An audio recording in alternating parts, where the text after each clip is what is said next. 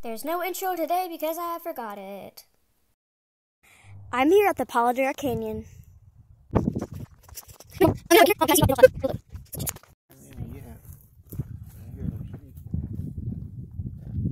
We've been hiking a lot. There's so many cactuses, but look how pretty this view is right now. I'm standing on a ledge.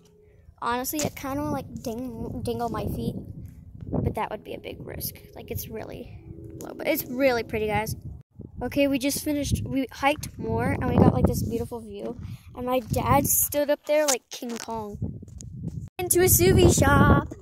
smells like burgers and ice cream because that's what they saw.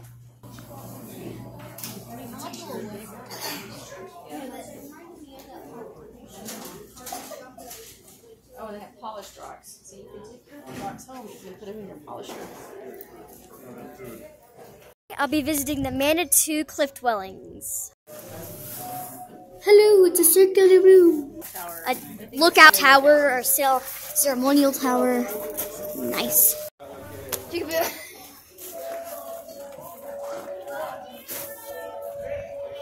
things are really cool. Be like a sto- like a, this is a bench. Uh-huh. That's like a little storage area, and then this is supposed to be an old water basin. We built the ladder, but this, or they built a ladder to get up there, but this would be a balcony structure. So if we go in here, this has both stories intact. So it looks like there's like a painting, but here, I don't think this is the same ladder. I think they just like rebuilt it. But then you can go up to the second story. It says that since there's um, a second story, it says that can be from the same clan ship. So here is the second story, and now you climb out. The windows are the doors, apparently.